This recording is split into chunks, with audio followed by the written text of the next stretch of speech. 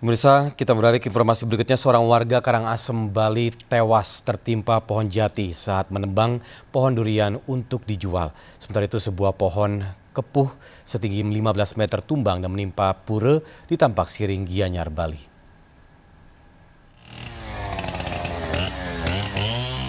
Akibat cuaca ekstrim, sebuah pohon kepuh setinggi 15 meter tumbang dan menimpa pura di Tampak Siring, Gianyar, Bali.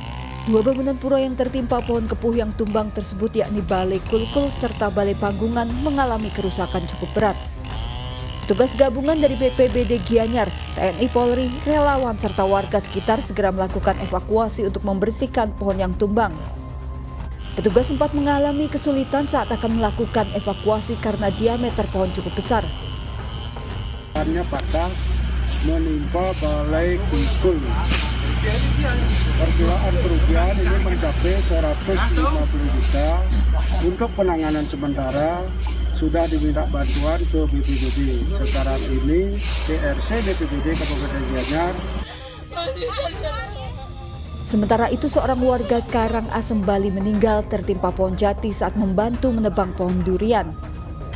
Isak tangis keluarga tak terbendung saat mengetahui salah satu keluarganya, Iwayan Dharma, tewas tertimpa pohon jati. Kejadian bermula saat korban bersama tiga rekannya hendak menebang pohon durian. Naas saat akan merebahkan pohon durian dengan menarik sebuah tali mengenai sebuah pohon jati dan tumbang menimpa korban.